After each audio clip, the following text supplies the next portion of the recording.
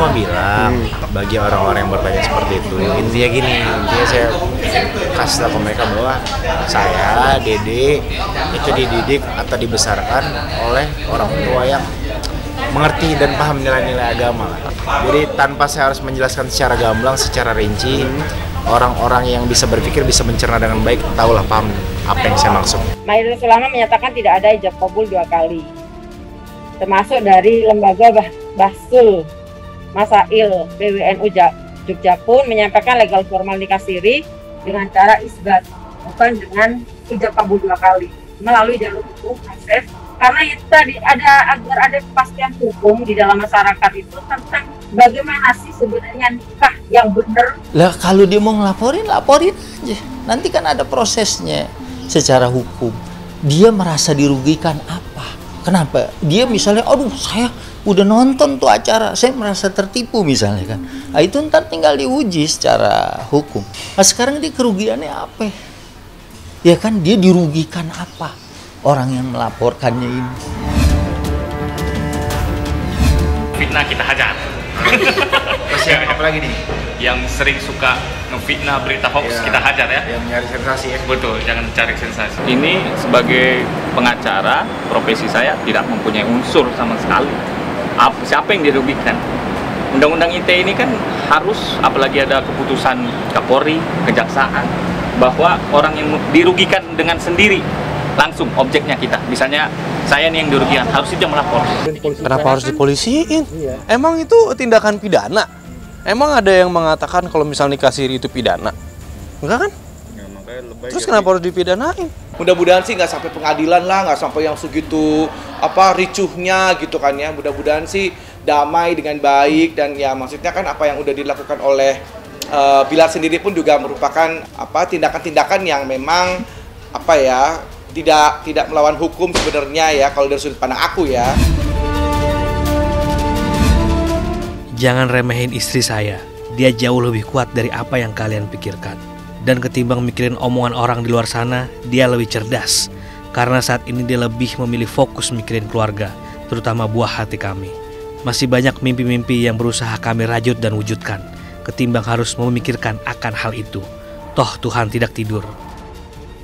Bagi saya apa pun opini orang, asumsi orang segala macem ya toh lagi menurut saya toh nanti kalau toh segala hal apa pun itu pasti bakal terkuak juga. Bakal bakal bakal eh, terbuka juga. Dan itu Instagram Instagramnya dia mau dia nulis apa gitu kan ya. Ya eh, silakan aja mengutarakan isi hatinya gitu. Eh, respons respons dari eh, eh, dia sebagai apa namanya sebagai manusia biasa ya yang tentunya kalau memang terusik atau apa mungkin dia ingin eh, ada pembelaan atau mungkin udah udah cukup lelah eh, apa dengan hal ini gitu sehingga dia harus mengutarakan ini gitu. Ya itu haknya masing-masing orang untuk dan itu Instagram Instagramnya dia mau dia nulis apa gitu kan ya ya eh, silakan aja mengutarakan isi hatinya gitu mungkin ya cukup apa eh, eh, emosional di sini gitu ya. Aku juga prihatin juga kalau misalnya memang ternyata ada yang mau melihat mereka itu eh, dipolisikan gitu kan. Ya ya mungkin dari sudut pandang dia eh, yang melaporkan ini em, ini ada yang salah. Tapi memang mungkin ada sudut pandang yang berbeda bahwa yang ini sah-sah saja kok boleh-boleh aja dipergunakan seperti itu ya tinggal nanti hukum yang menentukan gitu. Kalau memang ternyata kan aku lihat juga mereka siap dengan eh, pengacaranya juga untuk bisa eh, apa namanya ya eh, memediasi memediasi ini. Mudah-mudahan sih nggak sampai pengadilan lah nggak sampai yang segitu apa ricuhnya gitu kan ya. Mudah-mudahan sih damai dengan baik dan ya maksudnya kan apa yang udah dilakukan oleh eh, Bilar sendiri pun juga merupakan eh, apa tindakan-tindakan yang memang apa ya tidak tidak melawan hukum sebenarnya ya kalau dari sudut pandang aku ya. Cuman kalau yang lain mau berpendapat silakan silakan saja gitu. Ya eh, memang apa mereka berdua lagi bener-bener lagi di atas gitu kan. Angin banyak deh tuh ya kalau dia di atas angin pasti bakal kenceng banget gitu. Dan ya mereka sih harusnya sih siap dengan hal itu gitu. Dan eh, gak perlu harus terpancing dengan apa pun itu. Karena ya udah udah agak memanas saat ini gitu ya tapi mungkin ini bisa menjadi sebuah sebuah uh, sensasi tersendiri juga. Sepertinya mereka menikmati gitu ya, menikmati sensasi-sensasi yang uh, sedang bergulir saat ini gitu. Ya, semakin tinggi pohon, semakin banyak semakin angin bertiup kencang.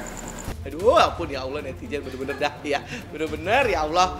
Uh, semuanya pasti gitulah ya. Itu uh, apa hak netizen lah ya mau ngomong apa juga kan ya dan ternyata kalau uh, terlihat dede lebih besar mungkin emang uh, bayinya uh, ag- uh, apa namanya sehat lah ya gitu kan. Kita doain aja gitu kan sebenarnya sehat akhirnya uh, mungkin terlihat besar. Kalau dari sudut pandang aku nih ya yang yang mungkin uh, positive thinking gitu kan. Nah ya mudah-mudahan sih jangan uh, apa ya kita jangan sampai apa ya ngejudge ngejudge gitulah gitu. Memang besar karena memang ya sehat bayinya gitu